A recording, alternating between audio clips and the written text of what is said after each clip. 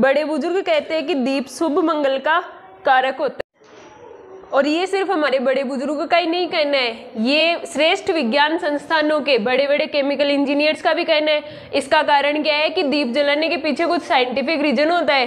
वो देखो कि क्या होता है कि जैसे दीप, सरसों के तेल में मैग्नीशियम होता है।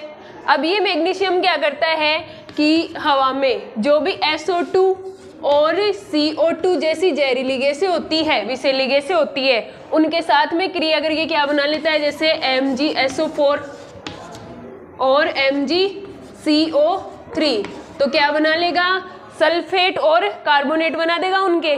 अब ये देखो कि जो विषैले तत्व थे वो क्या हो गए? थोड़े भारी हो गए। अब भारी होने की वजह से ये कहाँ आ जाते हैं? ज़मीन पर आ जाते हैं। उसकी वजह से हवा कैसी हो जाती है? हल्की हो जाती है। तो देखो कि प्रदूषण को समाप्त करने में दिए का बहुत बड़ा रोल होता है। और देखो इसमें ट्राइग्लिसराइड, एलाइल, आइसोथायोसाइनेट, ये भी सब केमिकल्स होते हैं। ये क्या करते हैं कि सूक्ष्म जीवाणुओं को अपनी ओर आकर्षित करते हैं। और आकर्षित करके उनको नष्ट कर देते हैं। यानी बीमारी वाले जीवाणुओं को भी ये नष्ट करने में हेल्पफुल है। इसी वजह से दिवाली पे दिए जलाने का बहुत बड़ा महत्व है। तो दिवाली पे मोमबत्ती जलाने का प्रचलन कुछ सालों में बहुत बढ़ रहा है। लोग दिए कम करके और मोमबत्ती ज़्यादा जलाते हैं। दियो की संख्या देखो घटते घटते कब कितनी आ गई है? कम से कम 21 तक आ चुकी है।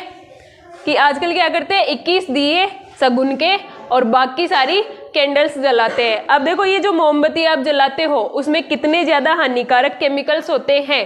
तो देखो, मोमबत्ती की पेराफिन जो होती है, ये पेराफिन इसमें होते हैं टॉक्सिक केमिकल्स जाइलिन फिनोल और एसीटोन ये क्या कर इससे होने वाली बीमारियों में प्रमुख है सिर दर्द या फिर सांस की समस्याएँ लंग्स और ब्रेन का कैंसर और जैसे इसकी बाती में मौजूद होता है शीशा इसकी वजह से जैसे हार्मोन्स का संतुलन बिगड़ना। तो समझदार बनो और सही चुनो।